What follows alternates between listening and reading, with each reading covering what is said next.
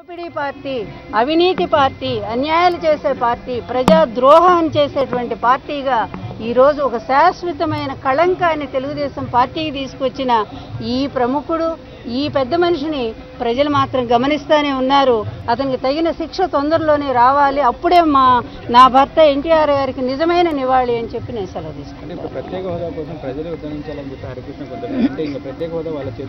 ప్రజలు ఉద్యమిస్తారండి. ప్రజలు ఎక్కడికక్కడ ఈయన పిలిపిస్తే ప్రజలు వస్తారా?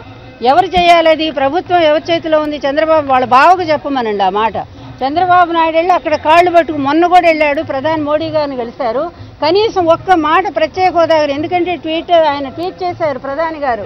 ఈయన కరువు మీద మాత్రమే చర్చించామని. అంటే ప్రత్యేక హోదా అడగలేదని స్పష్టంగా ప్రధానమంత్రి గారే చెప్పారు. ఇక్కడికి వచ్చేమో నేను అడిగాను ఎప్పుడు అబద్ధాలతో ప్రజల్ని ఎంతకాలం మోసం చేస్తారండి? అస్సలు ఇతను ప్రత్యేక హోదా అడగనే అడగలేదు. అడిగితే తన అవినీతి ఎందుకంటే మొన్ననే వెళ్ళాడు ఆయన.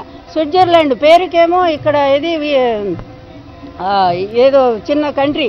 దీనికి వెళ్తున్నానని చెప్పి అక్కడి నుంచి స్విట్జర్లాండ్ వెళ్ళి మొన్న పనామా కేసులో ఇతని వ్యక్తి ఇతని డైరెక్టర్ పేరు బయటికి రావడంతో భయపడిపోయి అక్కడికి వెళ్ళి అవన్నీ కూడా లావాదేవీలన్నీ సరి చేసుకోవడానికి వెళ్ళారు. ఇట్లాంటివన్నీ కూడా కేంద్ర ప్రభుత్వం దగ్గర ఉన్నాయి ఇతని అవినీతి మీద ఒక్కసారి ఎంక్వైరీ వేయమనండి. సిబిఐ ఎంక్వైరీ చేస్తే మొత్తం పాపాలన్నీ బయటకు వస్తాయి. మొత్తాన్ని ఈ దేశాన్ని లూటీ చేసినటువంటి ఘన చరిత్రుడికి ఇతను మిగిలిపోతాడు. అవినీతిలో ఇతను మించిన వాళ్ళు ప్రపంచ చరిత్రలోనే లేరు. ఈ వాస్తవాలన్నీ బయటికి రావాలి అంటే మాత్రం దయచేసి మోడీ గారిని కూడా మేము ఒకటే అడుగుతున్నాము. నువ్వేదో మా- చాలా నీతివంతమైన పరిపాలన మేము అందిస్తున్నాం అందిస్తున్నాం అని చెప్పి నిన్ననే ఆయన మీటింగ్ రెండేళ్ళ పరిపాలనలో ఆయన మాట్లాడారు అవినీతి ఎక్కడైనా ఉందా? ఉందా? అని. నీ మిత్రపక్షమైనటువంటి చంద్రబాబు నాయుడు గారు అవినీతి చేస్తా ఉన్నారు.